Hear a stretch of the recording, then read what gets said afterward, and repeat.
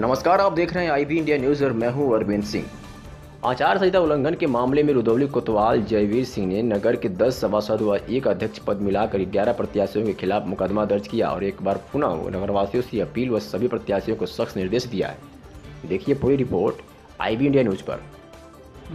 आगामी नगर निकाय चुनाव के मद्देनजर रखते हुए नगर पालिका परिषद रुदौली में आगामी 22 तारीख को मतदान कि वो बाहरी लोगों को अपने यहाँ रुकने न दें न संरक्षण दें न बिना किसी कारण के अपने यहाँ रुकें।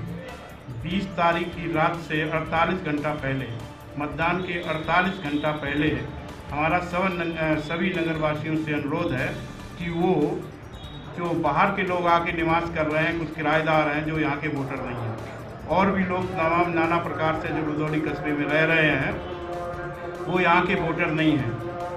तो उनको कृपया कह दें कि वो अपने अपने स्थानों पर जाएँ और नगर को खाली करें।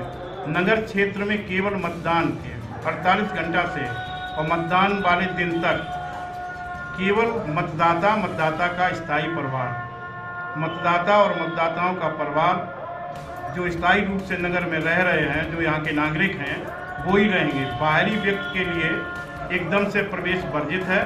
नगर क्षेत्र की चारों तरफ़ से 10 बैरियर बनाए जा रहे हैं और उनमें सघन चेकिंग होगी।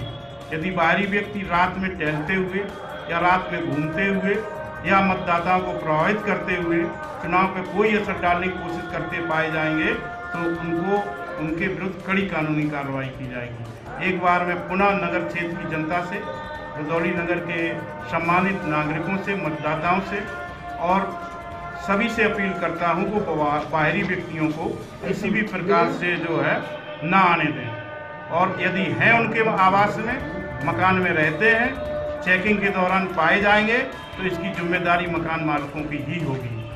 इसके उपरांत हमारी सभी सभासद प्रत्याशी और चेयरमैन पद के प्रत्याशियों से अपील है कि आदर्श आचार संहिता का पालन करें।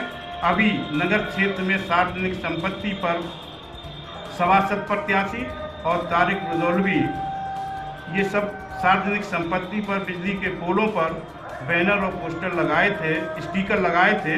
इनके विरुद्ध 11 लोगों के विरुद्ध आचार संहिता का मुकदमा